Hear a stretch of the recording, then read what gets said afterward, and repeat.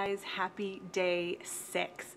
I hope you are enjoying this challenge. Today we're going to do another move from Hammer and Chisel. This workout program, I just have to say, it is so fantastic. It targets your whole body. I know I've said that, but I just, it, it, it's just a really great total body workout that gets your arms toned, it gets your legs toned, it gets you abs. And that's what we're gonna work today. So today we're going to do what sounds really simple, but it's a. will um, show you the move. So you're gonna get, lay flat on your back.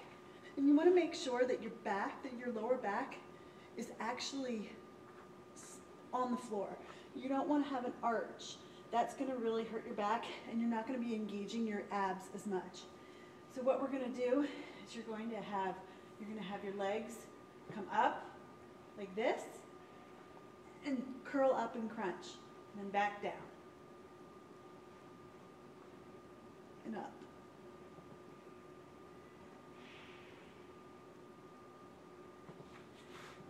Now, I know that looks really simple, but as you get going, it's gonna feel really hard. Um, but when it feels hard, that means that it's burning and it means that it's working. And the best part about this move is that it hits, again, that lower abdominal area that is just so hard to target.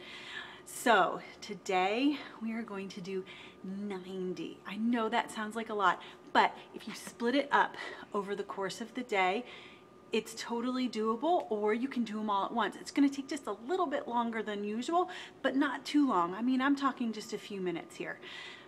You guys, everything worth having is going to be a little bit difficult to, to achieve or, or to get. So abs, you know, they don't come overnight. Moves like this, you will get abs. So when you are done, comment below, beast mode.